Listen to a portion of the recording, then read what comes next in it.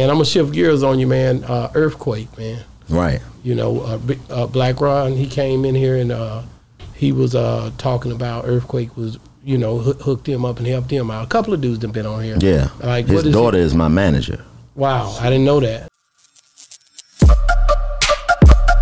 Yeah, we on Boss Talk 101. 101. Yeah, we gonna talk. But let me ask you this, man. I seen you on uh, Kurt Bone TV. Shout out. Um, that's a, a guy from DC, right? I, Yes, I just, sir. you turned me on to him. Yeah, yeah. Looking through your stuff, Yeah, you turn- and yeah. it seemed Kurt like you had a, a legendary, lot of respect legend, for him, legend man. in the city, man. And I, I like that. I was like, man, because we everywhere. You know what I mean? And it, for him to y'all to lock in like that, somebody will see that and they'll understand it. Man, I might can do something. Or damn, I never thought because if he been through what I've been through, somebody see him sitting there, they're gonna be like, yeah, man, if he made it, Oh I yeah, but that's what it was for Yeah. me. Like to, for him to when I met him, the fact that he knew me was like, nigga, you know me, because that was you know at a time in my life that's what I aspired to be. Be, yeah. You know, I aspired to be a Kurt Bone. Or, Yeah. You know, one of them type of dude. The streets like that was what we Yeah. was into. Like I was into it. Like it wasn't no, you know, what I mean, I ain't never been no thug or no, but I was a hustler's hustler. That's it. That's and I'm, you know, I don't, I never had a problem with a problem. I'm the epitome of a DC nigga to the core. But to see him embrace me in a way that he talked to me when I met him, let me know that man, this is a real nigga. Like, like that. Like beyond what he did and what he known for, he didn't approach me on none of that. He he came humble to me when he didn't have to. You know what I'm saying? Like he didn't have to approach me in a capacity under what he did. He could have been a it could have been a situation where a lot of people don't understand like you got to give grace to gangsters in a lot of sense, especially when you're successful because they really can, you know, make it hard for you. I come from out of the extortion game. Like it's Oh, yeah. it, it go it can go down and Yeah. that can motherfucker can choose to give you problems instead of grace. So I always respect that whenever I come in contact with anybody that comes from out of that lifestyle when they meet me because I understand because I come from it too. You know what I'm saying? So I appreciate another dude, Jojo Capone out of Chicago. Like I appreciate when when people come with love because I understand that that ain't what is being given out here, especially in the environments that we come from.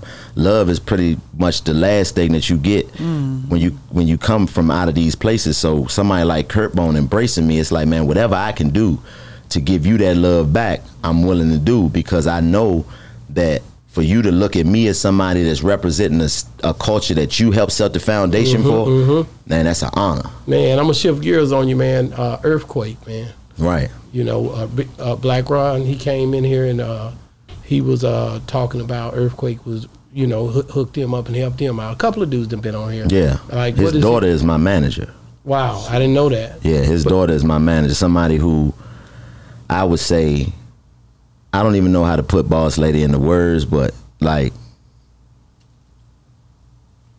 the most important person to me being able to be who I am totally is Natalia Stroman That's hard. all the way. Mm.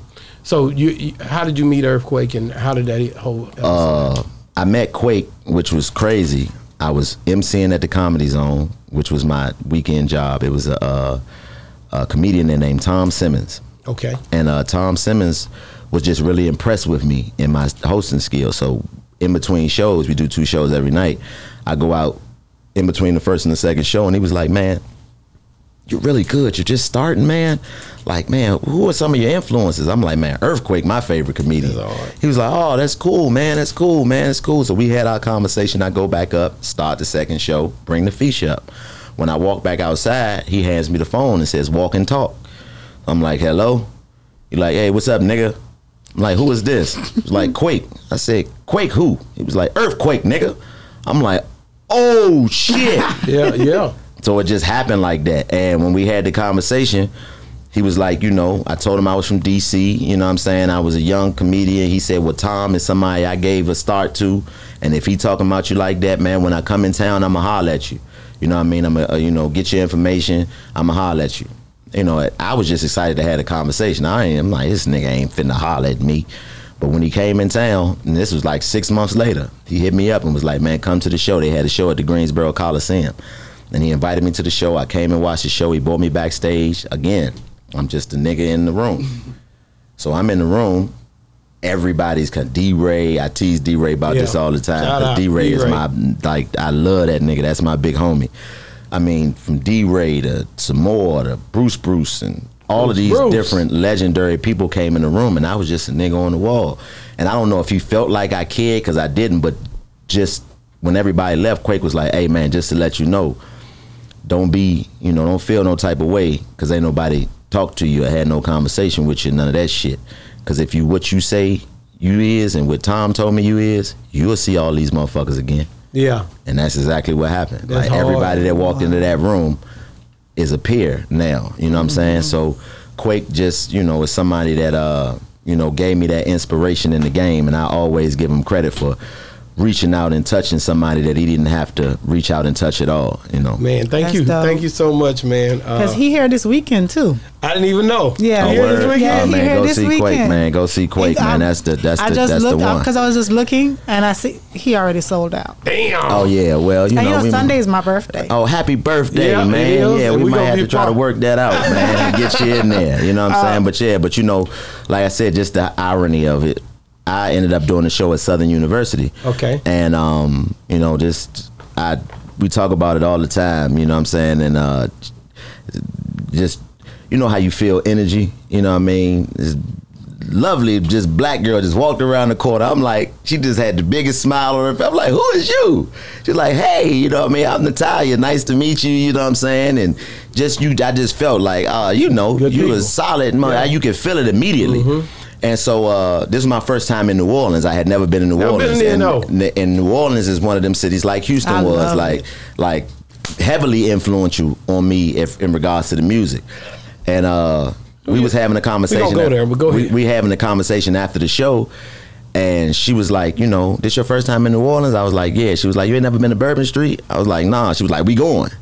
So we drove from Baton Rouge to Bourbon Street and we out there kicking it, you know what I mean, having a good time. And she asked me, you know what I mean, like she like, who your favorite comics? I was like, man, Earthquake, my favorite comedian. She was like, yeah, that's Dad. I was like, yeah, I feel like that nigga my father too. she was like, she's like, No, that's my father. I'm like, get the fuck out of here. I had no idea. I had no idea. That's like, I had, that's just how. That's why I always say to her all the time, like, is it's divine. That that's why I know. Can't nobody tell me nothing about what I'm doing. I know God put God me put here it- to do what it is Get that. I'm doing Get it. because of the way it come to me. I don't I ask it. for any of it. It just come to me like that. And when I tell you, like, ever since I met her, like. We started officially working together. Like when I was on Wild and Out, I was doing all this shit by myself. Nobody really wanted to, you know. You know the game is different. Everybody Yeah. want to, you know, they they rock with who they rock with. And even though you might be better or more talented, they like, nugget, I'm not putting my hands on you because that's gonna fuck up who I'm trying Yeah, to push. yeah. And I hadn't, you know, had anybody to talk to that understood the game. But she grew up in the game. She earthquake daughter, so she knew the game. So she knows. So I reached out to her like, hey man, you know, I ain't never had nobody look over this shit that understands what it is. Would you be willing to do that? So she wasn't doing that at that time. No, and that was the first person that That's gave cool. her that that ability to do Wow, that. that's dope. So that's how we got to get And like you know, I'm telling you, man. She has more clients now, Oh too? yeah, Black Okay. Ron is one of her clients. Oh, yeah, yeah. okay, I mean, yeah, she's yeah, a yeah. savant, man. I mean, literally one of the, you know, most brilliant people I have ever came in contact with in my life. And I, you know, I just have an affinity for black women, Mm. and I just, you know, anybody. You know, I'm not a judgmental person, but if I look around you and you ain't got no black women around you, I'm looking at you kind of crazy because As you it's a said that. certain it's a certain level of of understanding that a black woman gonna give you that you ain't gonna get from no other woman as a black man. Too. Somebody else. Somebody else said um, they could not have a male. Who who was that saying they couldn't have a male as a um, as that camera, person?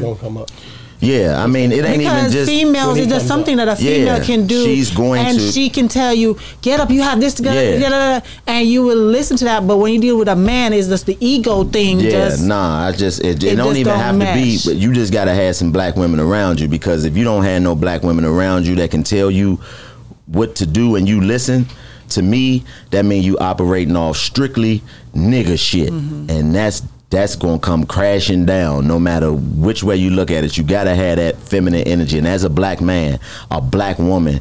Has to be present somewhere in this game, especially to be able to tap you on your shoulder and pull you to the side and say, "Hey, nigga," even if it's just straighten up.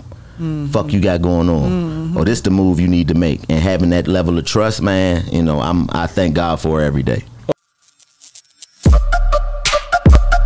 Yeah, we on Boss Talk 101. 101. Yeah, we gonna talk.